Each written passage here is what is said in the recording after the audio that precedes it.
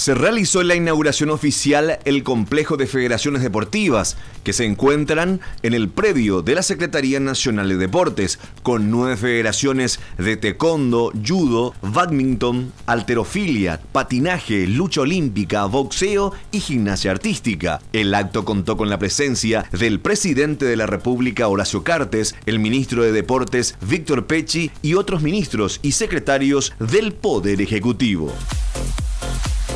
Nos costó mucho trabajo llegar al final.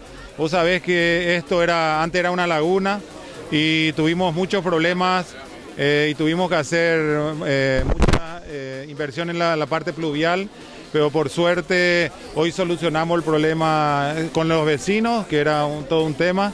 Y bueno, contento de poder llevar adelante, ya están trabajando normalmente. Y bueno, contento y tenemos todavía compromisos tenemos dos canchas de pasto sintético más tres canchas de volei y tenemos toda la parte del tenis que tenemos que terminar. Pensamos hacerlo para septiembre. El complejo de federaciones es una infraestructura multideportiva. Las obras realizadas forman parte del plan de mejoramiento para las diferentes modalidades deportivas.